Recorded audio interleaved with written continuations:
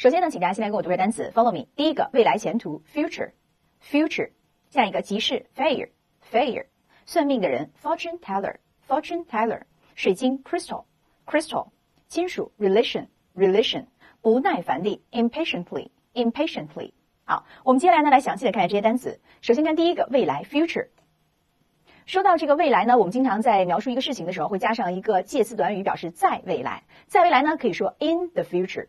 这个未来呢又分远近，对吧？所以可以说 in the near future。哎，在这里是指比较近一些的未来，不久的将来。也可以说 in the distant future，在很远的未来啊。那一般情况下呢，我们经常使用的就是直接说 in the future，表示在未来，在将来。好，我们之前在三十七课当中还学过一个词组，叫做盼望。所以如果想说盼望未来呢，可以说 look forward to the future。look forward to the future，盼望、期望着未来。好，这个是 future。再接着看下面这个单词 fair，注意这个单词啊，fair 这个单词呢，它可以表示小型的集市。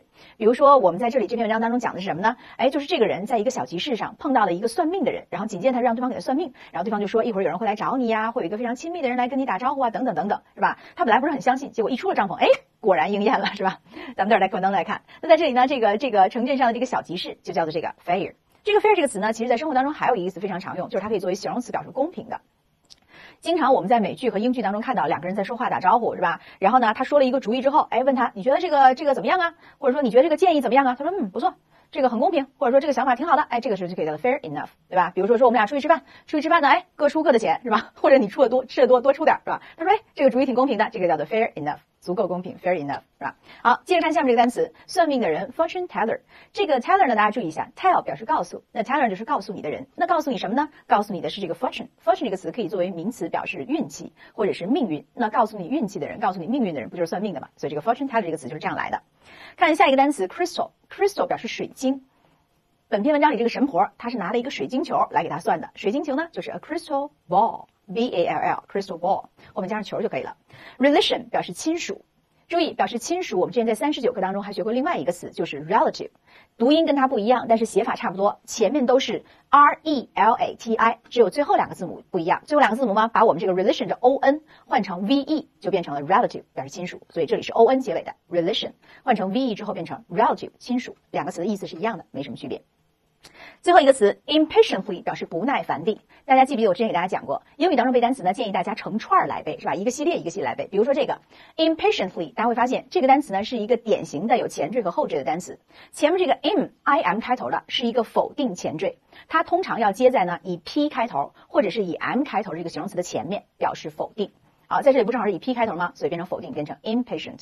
然后最后这个 ly 结尾呢，就是把它变成了一个副词，所以前面是否定前缀，后面 ly 呢是一个副词的结尾词缀。所以咱们把这个副词先去掉，就可以变成了这个形容词 impatient，表示没有耐心的、不耐烦的。副词变形容词。然后呢，如果我再把前面这个否定前缀去掉，那这个 patient 就变成了形容词，表示耐心的。除了它作为形容词表示有耐心的之外呢，它还可以作为名词表示患者、病人。这个我们在三十九课也见过，对吧？好，那大家看一下这一系列的变化，别忘了啊。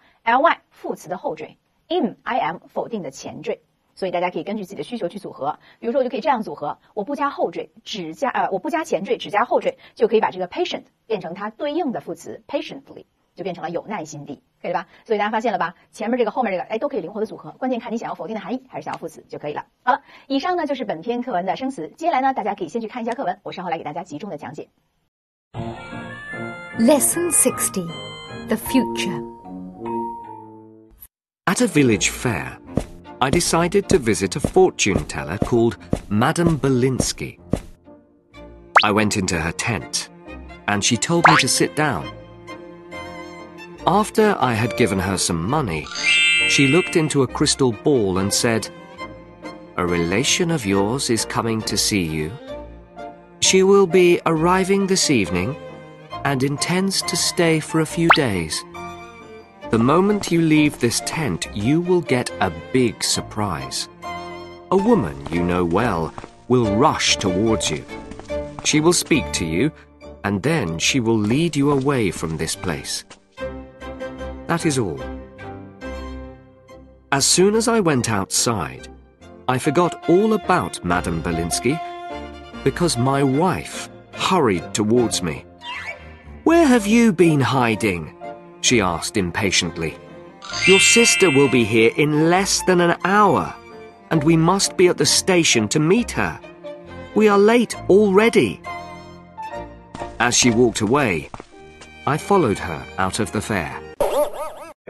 今天的主要内容呢是来给大家复习一下表示将来的各种时态。 其实呢，这个表示将来的各种时态，我们在之前的课文当中都给大家一一的讲过了，而且呢，我们在之前的三十六课当中也给大家复习过了一次。但是为什么这次要再多复习呢？因为这次比上一次复习又给大家多加了一种时态。原本呢给大家讲了一下，哎，三种时态可以表示将来，然后再加上词组，对吧？本篇课文呢是一共有四种时态可以表示将来，再加一个词组，所以一共有五种方式。所以大家发现吧，一个不小心我们学了这么多东西，那到底有哪些呢？咱们一起在课文当中来看一下。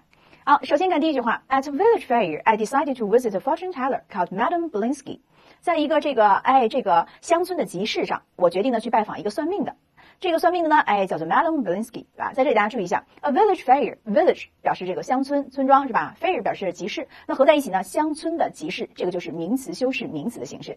这种名词修饰名词形式呢，其实最早的时候，我在五十三课当中触电的蛇那个当中给大家简单的说过。比如说你什么呢？你像烟头，cigarette end，这个就是名词修饰名词的形式，对吧？这种名词修饰名词的形式还非常非常的多见。比如说这个乡村的集市，还有什么呢？你像这个 school bus 校车，学校的车，对吧？还有呢，a birthday present 生日礼物。再比如说 a door key，哎，一个门的钥匙。A crystal ball 一个水晶球，这是本篇课文的词组。所以大家发现了吧？其实除了形容词可以修饰名词之外，名词也可以修饰名词啊。所以大家看，这些都是名词修饰名词的搭配。这个名词修饰名词之后怎么变复数呢？我上次在五十三课也简单的说过一嘴，大家注意，名词修饰名词通常后变前不变。为什么呢？因为大家会发现，名词修饰了名词，后面这个名词才是主要的核心内容。比如说，这个乡村的集市，到底说的是乡村还是集市啊？哎，说的是集市，乡村自然修饰它了。所以如果变复数的话呢，就应该变成 village fairs。再比如说 school bus 校车，对吧？哎，那这个校车重点说的是什么呀？车，学校的车，对吧？所以说呢，要变成复数就得变成 school buses。所以大家记住了，名词修饰名词变复数通常后变前不变，但是有例外。还记得我讲过吗？什么时候例外呢？就是表示男女的时候就都变。比如说，举个简单的例子，我是个女老师，a woman teacher。这个时候如果变成很多个女老师呢，就变成 women teachers。所以前后都变，遇到男女都变啊。好，这是关于这个简单了解。那接着往下看，我去了这个集市，要去拜访这样一个算命的。什么算命呢？Called Madam Blinsky。同志们，这个讲过吧？最早在二十一课讲的。这个 done 过去分词可以修饰名词，哎，表示被动，对吧？被叫做 Madam Blinsky 的这个算命的人，是吧？这个二十一课讲完之后呢，后来我又在五十五课当中给大家进行了一下复习和深入，是吧？啊，复习深入什么呢？就是大家要记住这个 done。它是一个非谓语动词，非谓语动词呢，就是当这个句子一主一谓搭配好之后，多余动词变成非谓语，对吧？那这里呢，很明显它就做非谓语。那非谓语当表示什么呢？表示被动，就近修饰，修饰前面这个名词，对吧？所以大家发现，你看都是我们学过的吧？所以去了这个乡村集市，我去拜访了一个被叫做 Madam Blinsky，哎，这个 Blinsky 这个女士，这个算命的。I went into her tent and she told me to sit down。我进到她的帐篷里面，她告诉我坐下。After I had given her some money, she looked into a crystal ball and said. 在我给了他一些钱之后呢，他就这个哎往一个水晶球的里面看，look into 向什么什么里面看，a crystal ball 水晶球对吧？他往这个水晶球里看，然后开始说话了。哎，在这里大家注意一个小点，时刻保持着这个高度的这个警惕和复习的心情是吧？多复习一遍，咱们就多记住一遍。在这里大家会发现前后两个动作，一个是给钱，一个是他往水晶球里看，大家能不能分清楚前后呢？有同学说可以啊，有一个关键词 after，一看到它我就知道了，哎，这个表在什么什么之后。其实不用 after，大家看时态也能分得出来，讲过吧？最早在第十课、第七课、第九课都讲过，had given 过去完成时，表示发生在过去的之前，而 looked 一般过去时就表示发生在过去，所以很明显，过去完成时发生在前，一般过去时发生在后，所以是我先给钱的，然后他才往水晶球里看的。好，接着往下看下一句话，他这个看向水晶球之后呢，就开始跟我说了，是吧？开始预言了，预言什么呢？A relation of yours is coming to see you。在这大家注意前一半，a relation 亲戚。Of yours，注意这个 yours 什么意思呢？它就等于 your relations，也就是说你的一个亲戚属于你的很多个亲戚当中的一个，是吧？这一个亲戚怎么样呢？Is coming to see you，is coming。注意这个结构啊，这个呢是我们在第二课当中见过的现在进行时的结构，表示什么呢？你的一个亲属现在正在来，那到了吗？还没到呢，就是表示将要来，来干嘛呢？To do，非谓语动词表示目的，目的要来看你，对吧？哎，所以在这里大家注意，这个就是现在进行时，表示将来。而且通常它表示的是什么呢？通常它表示的是，哎，确定要发生的将来，因为它正在走在路上了，哎，那不就肯定要来了吗？对吧？所以现在进行时可以表示将来。好，那再接着往下说，你的一个亲戚要来看你。She will be arriving this evening and intends to stay for a few days. She will be arriving this evening. 大家看这个结构，will be arriving 一个箭头引到第十三课去。十三课讲什么呢？哎，讲这个男孩们来开演唱会是吧？哎，这个 will be arriving 当时就在十三课当中给大家讲过的。形式上来讲呢，它是将来进行时，表示将来某个时候正在进行的事儿。对吧？这是它的基本用法。它的特殊用法是什么呢？哎，可以表示确定要发生的将来，对吧？因为你想啊，他现在这个正在路上呢，那他是不是确定肯定会到这儿啊？所以这里是确定的将来。因此呢，就用将来进行时，She will be arriving this evening。然后呢，and intend to stay for a few days，然后打算在这儿待几个星期。好，大家注意这个 intend to do。Intend to do 呢？这个是我们在三十六课当中学过的词组，表示打算做某事。那大家想，打算做某事，既然都说打算了，那肯定是之后将要发生的吧？所以在这里呢，哎，这个词组也可以表示将来。你别看它用的是一般现在时，但是呢，它意思上是将来的，对不对？打算做不就是将要做吗？所以在这里，大家通过这两句话会发现，这两句话当中，现在进行时表示将来。第二课讲的 will be arriving，将来进行时。第十三课讲的。还有 intend to do 这个词组是三十六课讲的，所以大家发现，哎，这些合在一起都是我们之前学过的不同的表示将来的方式，对吧？好，那再接着往下看，the moment you leave this hand, you will get a surprise. Get a surprise 表示什么呢？表示这个得到一个惊吓，当然也可以翻译成得到一个惊喜，对吧？到底是惊吓还是惊喜，那得取决于上下文。而且呢，这里还不是一个小的，还是什么呢？Get a big surprise 是吧？得到一个很大的惊吓惊喜。好，那再看前一半，the moment you leave this hand。好，首先呢，请大家注意一下这个词，the moment，the moment。本来是一个名词词组是吧？The moment，但是呢，大家注意，在这里它比较特殊，它表示的是什么什么的那一刻，所以这个名词词组呢，它是相当于一个连词来用，后面接了一个从句，引出时间状语从句。所以大家注意啊，the moment 后面接上一个句子表示时间，表示在什么什么那一刻，引出的是时间状语从句。这种用法呢，其实还很多见，比如说说到每一次怎么怎么样，every time 后面也可以加上一个句子，引出时间状语从句，对吧？哎，所以在这里大家会发现，哎，它引出的时间状语从句。那有同学说，老师，哎，这个时间状语从句为啥用的是 leave 动词原形呢？那你说不是说将来要出现的事儿吗？你看人家后半节都用的是 will get，那这半节为什么不用 will leave 呢？大家回想一下为什么呀？哎，这事儿我们也讲过，就是三十六课说的，时间状语从句当中有一个特殊的地方，特殊在什么地方呢？就是想表示将来不能用将来，得怎么办呢？哎，时间状语从句当中得用一般现在时表示将来，这个是我们之前在这个三十六课当中给大家讲的。所以呢，请大家注意啊，在这里，the moment 什么什么那一刻，这是个时间状语从句。时间状语从句当中不能用将来表示将来，得用一般现在时 leave 动词原形不就一般现在时吗？对吧？来表示将来。那有同学老师后半节为什么不改呢？因为人家后半节是主句呀，咱们只要求时间状语从句改，所以主句是正常用的，可以吧？哎，这是关于这个啊。好了，那在这里呢，再次给大家强调一下，同志们来深情的看我一眼。像这种特殊的。需要改变时态的情况其实并不多，大家只需要记住两种就可以了。哪两种呢？一个就是条件状语从句当中，if 十六课讲的；第二个呢就是时间状语从句中，时间和条件这两种状语从句中，需要用一般现在时表示将来，不能用将来。其他的其他的从句，其他的这个状语从句都一样，正常该怎么用怎么用，就只有时间和条件状语从句中。得换，得换成一般现一般现在时。好，那接着说回来，在这句话当中呢，使用的是 the moment 引出时间状语从句，对吧？但是呢，不一定非得要用它，任何的时间状语从句都得符合这个要求。比如说，不管你用 before、after，还是 since、until，还是 as soon as，只要是表示时间的，引出时间状语从句的，那么都得符合这个要求。所以我们在这里再一次的给大家强调，每遇到一次我就说一次，是吧？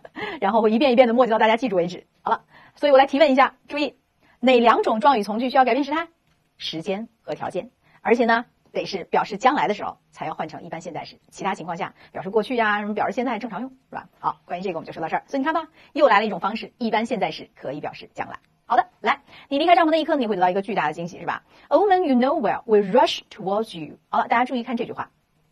这句话呢，大家会发现，你仔细看一眼，你会发现这个句子里不是一件事儿，而是两件事儿。我怎么知道它是两件事儿呢？我教过大家方法嘛。一件事儿当中只能有一个谓语动词，所以大家去数，看看这个句子当中几个谓语动词呢？俩呀，一个是 no，一个是 will rush，对吧？哎，所以在这里大家看，一个是 no，一个是 will rush，很明显是两个谓语动词，所以肯定是两件事儿。那既然是两件事，就去断开吧。大家看有没有什么连词啊？没有，有的时候连接词被省略了，断不开句子怎么办呢？想一想，我在三十八课当中给大家在拓展环节当中补充过，想要断开句子没有连接词了，这个时候可以靠分析主谓来断开。当时呢，我给大家留了两个公式。一个叫主谓主谓，一个叫主主谓谓，还记得吧？那大家看这个，这个是哪种呢？那很明显呢，找到谓语动词前面不就是主语吗？No 的前面是 you，那 will rush 呢？前面没有，再往前找呢，找到了 a woman，所以很明显这个句子属于哪种呢？属于主主谓谓形式的这个结构。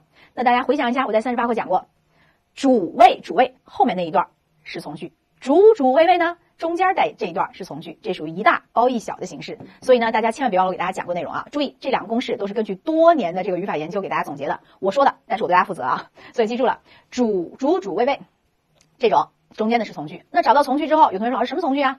再教你们一招，a woman 名词吧，名词后面加从句，中间没连接词的，那么这个一定百分之一百是定语从句。李老师，名词加从句不还有可能是同位语从句吗？对，四十六课是学过同位语从句，但是同位语从句连接词不能省，所以肯定是定语从句，对吧？所以记住了啊，名词加从句没连接词的肯定是定语从句。那定语从句可以往前翻译啊，翻译成什么什么样的女士？什么样的女士呢？You know well，哎，就是你非常认识、非常熟的一个女士将会冲向你，rush 冲 towards 表示朝着这个方向，对吧？还记得我被球砸了吗？在三十三给大家讲这个词 towards，对吧？表示朝着某个方向。这个女的呢，你非常熟的一个女的会跑向你。好了，注意在这里，will rush 一般将来时表示将来。好，然后他会干嘛呢？注意，他是将会跑向你。那那那么他后面做的一系列动作都是将来的事儿。所以呢，she will speak to you，will speak，and then she will lead you away from this place. That is all。哎，他将会跟你说话，他将会引导你离开这个地方。所以都是将来的事儿，用一般将来时 will do。好了，as soon as I went outside，哎，人家给我们预测完算完命了是吧？我就走出去了。As soon as I went outside，哎，我一走出去，I forgot all about Madame Blinsky，哎，我把他说的这个事儿都忘了是吧？Because my wife hurried towards me，因为我的妻子呢向我冲过来。你看，果然是熟人吧？我的妻子是吧？好，那在这里呢，大家看，as soon as 表示一怎么怎么样就，十四课学的。那这里 as soon as 一怎么怎么样就引出的是时间状语从句，那需不需要改变时态呢？不需要，因为它这里说的是过去的事儿，不用改变。咱不说了吗？那两种状语从句表示将来的时候才需要改变成一般现在时，这里表示过去就正常用，不用变，对吧？好了，我一出去，然后我就把它都忘了，因为我的妻子冲向了我。然后呢，我的妻子就问了，Where have you been hiding? She asked impatient, impatiently. 她非常不耐烦的问，你哪儿去了，是吧？Have been hiding. 这个是我们在五十二课、五十三课讲过的现在完成进行时，表示什么意思呢？现在的之前做的某事儿，而且强调一直持续进行，因为他觉得你藏了很久嘛，是吧？这个过程持续了很久，所以用现在完成进行时。你之前躲哪儿去了？Your sister will be here in less than an hour。哎，你的这个 sister 哎将会到这儿，是吧？再怎么样呢？再少于一个小时，是吧？在这个不到一个小时之间就要到这儿了。哎，在这里呢，大家注意一下，它将会到这儿，用的是 will be。我再讲一遍啊。我已经讲到第三遍了，很多同学都不了解，说老师我特别怕看到什么 will be 啊，must be 啊，这些 be 都哪来的呢？注意，这个句子呢原本应该是说你的这个姐妹在这，可以说 your sister is here Is here，这指的是现在在这儿，对吧？那如果说它将要在这儿呢，你得把这个 is here，is 变成将来时，那变将来时怎么变呢？得用 will 加动词原形，所以这个 is 变过去变回原形就变成了 will be，就这么来的，大家明白意思了吧？哎，好，所以呢这里就是 will be 表示将来，will 加动词原形，它将会是在这儿，在一个小时，在这个不到半个小时时间，是吧？啊，在不到一个小时时间，less than an hour，and we must be at station。那我不用解释了吧？为什么 must be？本来是 we are at station，那 must 情感动词后面得用原形啊，所以变成 must be，对吧？我们必须得在车站去干嘛呢？哎，去看他，去接他。We're late already，我们已经晚了，赶快吧。As she walked away，I followed her out of the fair。哎，这个什么呢？哎，他这个走着是吧？当他走开的时候，as 表示当什么什么时候？哎，当他走开的时候，我就跟着他一起出了这个集市，整篇文章就结束了。好，所以大家发现没有？本篇文章非常的简单和愉快。为什么呢？因为本篇文章当中就是讲了一下之前我们学过的各种各样的表示将来的时态，对吧？那大家回想一下，文章当中出现了几种啊？其实我之前给大家预告过，还记得吗？想一想，一共有几种了？好，我在这里先卖个关子，我们在会儿拓展环节当中给大家进行总结。好了，感谢大家耐心聆听，我们这儿拓展各种表示将来的时态。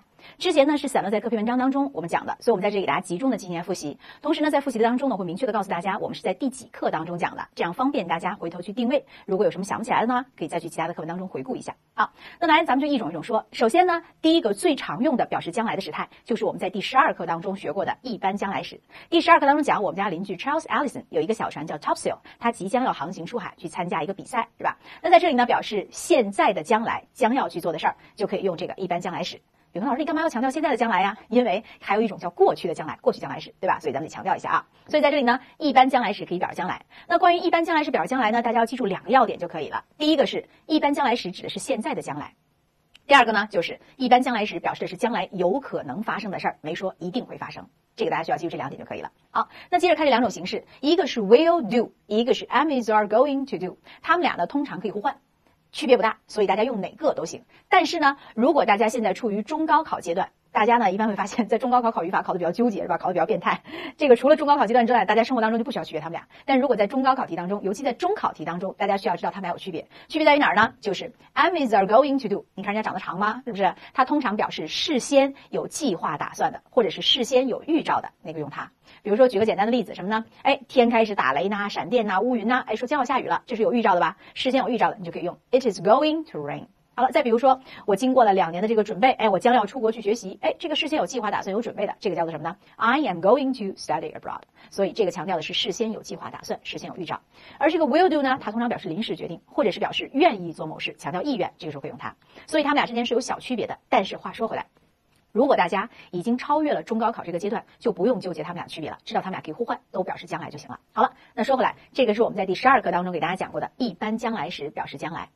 好，那接着往下说。它呢是有可能发生的将来，那有没有确定要发生的将来呢？有，比如说我们在第二课当中讲过的这个现在进行时表示将来。第二课呢讲我在礼拜天的时候喜欢在床上赖床是吧？到了中午的时候还没起床呢。然后这个时候我的姑姑来给我打电话，她说什么呢？I'm coming to see you. I'm coming to see you. 在这里呢就是表示我将要来看你，所以现在进行时可以表示确定要发生的将来。好，还有什么呢？除了第二课当中讲过的这个之外，还有第十三课当中讲这个绿林男孩来开演唱会，是吧？那课当中呢讲的是将来进行时可以表示将来，而且是确定的将来。好，那话说回来，那有同学说老师，这个现在进行时也表示确定的将来，将来进行时也表示确定的将来，他们俩有什么区别吗？注意，他们俩其实都可以表示确定的将来。一般基本上呢，大家不需要区别，你用哪个都行，意思都一样。但是如果大家非想要纠结于区别的话呢，我来给大家讲一下他们俩的由来。为什么能表示确定将来？道理是不一样的，不一样在哪儿呢？咱们先来看一下现在进行时。现在进行时表示将来的时候呢，它通常会搭配一些这个表示移动的动作的动词。比如说，举个例子，你说来、去，对吧？到达、离开，哎，这种有这个这个位置变化的这种动作，经常会接上现在进行时表示将来。那为什么呢？比如说，我就以课文当中这个例子为例啊，说 I'm coming to see you. I'm coming. 它本身的形式是 I am coming，现在进行时，表示我现在正在来。那我问大家，我现在正在来，我是不是还在路上呢？到了吗？没有。所以由于我正在来的路上，因此意义过来不就是我将要来吗？对不对？所以由于它经常会搭配一些表示位置移动的动词，在这个位置移动的过程当中还没到呢，因此可以翻译成将要。确定发生的将来，而你想啊，人都已经走在路上，是不是肯定会来呀？哎，所以原因就在这儿。所以总结一下，就是现在进行时表示将来，通常会搭配一些这种来去的位置移动的动词，因此正在这个路上就说明肯定要来，所以它就是因为这个来表示确定发生的将来。那再看这个将来进行时呢？将来进行时，它本身的含义是表示将来某时正在进行。那既然表示将来那个时候要正在进行，那是不是说明肯定会发生啊？所以。它就是因为这个来表示将来确定要发生，所以呢，大家注意，虽然他们俩的这个由来是不一样的，但是结论是他们俩都可以表示确定要发生的将来。所以总的来看，大家会发现，哎，第一个是表示有可能发生的将来，而这个现在进行时和将来进行时呢，都表示确定要发生的将来，可以吧？好，那接着往下说，第三个、第四个还有什么呢？一般现在时可以表示将来，这个一般现在时表示将来呢，我要给大家讲两种用法，是大家都能用到的，也都能考到的。那咱们先说最重要的一种，最重要的一种是什么呢？注意。刚才在课文当中讲过了，就是两种状语从句想表示将来，必须要改变时态。哪两种状语从句呢？分别是我们在第十六课当中讲交通罚款单那课当中讲过的条件状语从句，还有第三十六课当中讲 Debbie 哎游泳横渡英吉利海峡那课当中讲的时间状语从句。所以注意，十六课当中条件状语从句，三十六课当中时间状语从句。总而言之，就是只有这两种状语从句想表示将来。不能用将来时，必须要换成一般现在时。这个是考试常考的，而且也是大家写作当中常错的，一定要注意了啊！只有这两种状语从句需要用一般现在时来表示将来，这是第一种，它在考试当中非常常考的用法。好了，那还有第二种用法是什么呢？就是一般现在时，它也可以表示确定要发生的将来。但是呢，它跟之前这两种确定不一样，不一样在哪儿呢？一般现在时表示确定要发生的将来，它通常会有一个什么呢？会有一个已经定好的时间表、计划表。只要有了这个确定的时间表、计划表，表示将来的事儿，就可以用一般现在时。比如说，举个例子，你像什么呢？火车到达，我说火车将会在八点钟的时候到。那火车到达，它是有列车时刻表的，对吧？所以按照这个计划表、时间表，它是确定会来的。这个时候就可以用一般现在时，可以说 The train arrives at eight o'clock. The train arrives at eight o'clock. 在这里，arrives 一般现在时表示确定的将来，有时间表了哟。好了，所以呢，各位同学给大家总结一下，就是简单来说，一般将来时可以表示将来，哎，有可能发生的将来。而后面这三种现在进行时、将来进行时和一般现在时都可以表示确定要发生的将来。但是它们仨有一点小区别，区别在于什么呢？就是这个通常接的是来去、到达、离开这种动作趋向性的动词，而这个将来进行时呢，哎，什么动词都行，对吧？主要是表示将来那个时候正在做，那就说明肯定会发生的将来。